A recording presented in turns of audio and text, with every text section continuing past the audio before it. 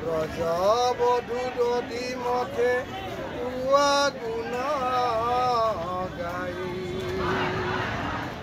ধৰ্মীয় ভাষাৰে প্ৰতিবাদ শ্ৰীমদ ভাগৱতক সাক্ষী কৰি প্ৰতিবাদ। প্ৰাপ্যৰ দাবীত ভিন্ন দল সংগঠনৰ প্ৰতিবাদেৰে মহানগৰীৰ চচল উত্তাল কৰি তোলাৰ সময়তে দৃষ্টি কাঢ়িলে এজন বিশেষ প্ৰতিবাদকাৰীয়ে। প্ৰতিবাদকাৰীজনে সন্মুখত ৰাখিছে জগতগুৰু মহাপুৰুষ শ্ৰীমন্ত শংকৰদেৱ জাতিৰ পিতা মহাত্মা গান্ধী বীৰাংগনা কনকলতা বৰুৱাৰ লগতে ভাৰত মাতাৰ ফটো।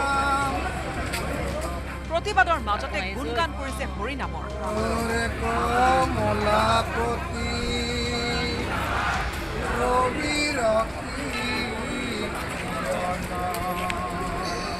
লোকজন বৰপেটাৰ কৰোণাকান্ত পাঠক।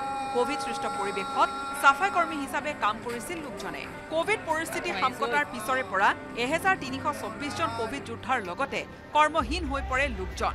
কিন্তু প্ৰতিশ্ৰুতি দিও মুখ্যমন্ত্ৰীয়ে পালন নকৰাত শৰৎকালীন অধিৱেশনৰ শুভাৰম্ভণিৰ দিনাই চচলত এইদৰে প্ৰতিবাদত নামিল লোকজন।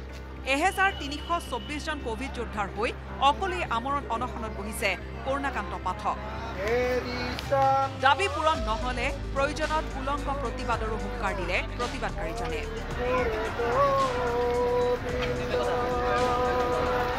অন্ন ত্যাগ ইয়াৰ পিছত জল ত্যাগ কৰিম তাৰ পিছত বস্ত্ৰ ত্যাগ কৰিম তাৰ পিছত দেহ ত্যাগ কৰিম।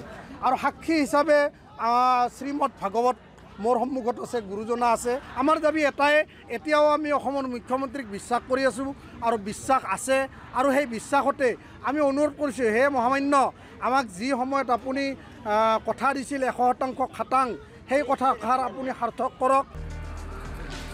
অৱশ্যে অভিনৱ প্ৰতিবাদ সাব্যস্ত কৰা লোকজনৰ আশে পাশে দেখা গ'ল আন কেইবাজনো প্ৰতিবাদকাৰী। নুনমাটিৰ পৰা Ajay Barman News eighteen. are from Northeast.